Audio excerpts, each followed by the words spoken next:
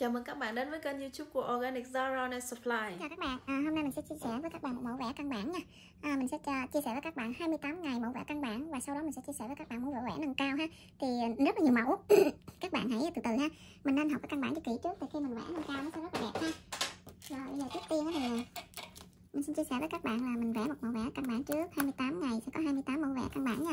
Đây mình sẽ Trước tiên thì mình vẽ một cái chai cọ nét thường thôi, nước sơn thường nha các bạn nha. Rồi để mà mình vẽ ờ, cho nó tròn cánh hoa như vậy, các bạn phải lưu ý là mình phải vuốt cọ nè. Vuốt cọ nha. Vuốt cọ cho sạch. Rồi, sau đó mình chấm một tí lại đầu cọ. Rồi, mình sẽ vẽ một cánh hoa nha. Để khi mà, khi mình vuốt cọ, để khi mình vẽ đó, nó không có chảy ở trên xuống ha các bạn nha. Rồi, mình chấm một cánh hoa đầu tiên. Này. Mình vẽ rằng là mình vẽ sao cũng được, còn các bạn á, lưu ý là như thế này khi mình à, muốn cánh hoa nó đều mình phải chấm cái đầu này cho nó đều một tí xíu cho cái cái, cái này nè cái đầu cọ mình chấm nước sơn á. Rồi mình đặt xuống đây mình để bên đây mình nghiêng qua bên đây thì nó sẽ ra một cái hình trái tim. Và bước kế tiếp mình sẽ vẽ một cánh kế bên nữa. Vẽ năm cánh tròn nha các bạn nha. Lưu ý các bạn lưu ý là khi mình vẽ không được xoay cái móng. Vì xoay cái móng là các bạn không có xoay tay khách được là vẽ lên tay khách các bạn sẽ không vẽ được nha rồi bên đây mình sẽ mình cái ngón tay của mình á phải có cái điểm tựa. Nha các bạn nha.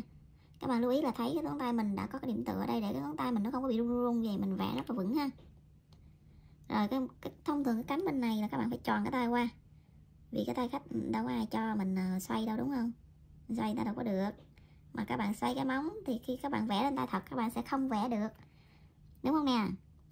À, vuốt cò sạch vuốt cọ sạch nha các bạn nha. Rồi mình sẽ cho một cái râu đây mình tập vẽ những cái đường nét cái râu râu cho đẹp ha. Khi mình vẽ gần cái đọt thì mình phải dỡ hỏng cọ lên để cho nó ra lã lướt nha. Rồi. Các bạn nào nhanh tay thì có thể mình dùng cái đầu cọ này mình chấm chấm chấm luôn. Nhưng mà chấm cái đầu cọ này thì tất nhiên là nó không có đẹp. À, nếu các bạn muốn đẹp thì phải dùng cái chấm bi rồi à, bây giờ mình sẽ chấm uh, màu vàng ha mình sẽ chấm. Mình sẽ chấm một cái nhụy màu vàng đi. Úp nhiều quá. Trời nhiều quá. Rồi mình sẽ chấm một cái nhụy màu vàng ở đây. Cho nó to to nhìn nó, nó sáng lên đó rồi. Để mình trang trí cho cái nhụy nha các bạn nha. Rồi. Sau đó mình mình dùng cái cũng là bột cao bản mình chấm. Nếu mà các bạn nào nhanh tay thì có thể dùng luôn cái cây cò nét mình chấm nha.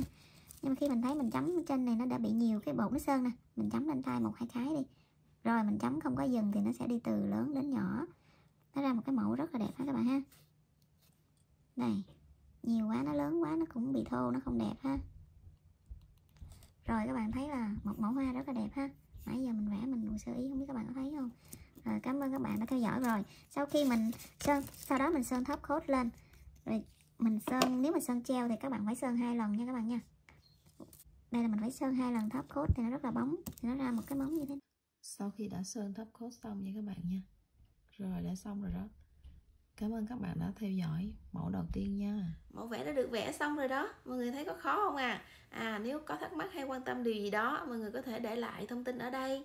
À, Về những mẫu vẽ mới hay là những kỹ thuật nào mới mà các bạn đang quan tâm. À, Hạnh Châu sẽ làm video kế tiếp để mà chia sẻ cùng với các bạn nha. À, Để ủng hộ thêm tinh thần cho Hạnh Châu uh, Bằng cách là mình mình sẽ đăng ký nè à, cũng uh, subscribe nè cũng như nhấn nút hình cái chuông để uh, các bạn có thể nhận được các thông báo về những cái video clip mới của Hạnh Châu nhé. Bye bye!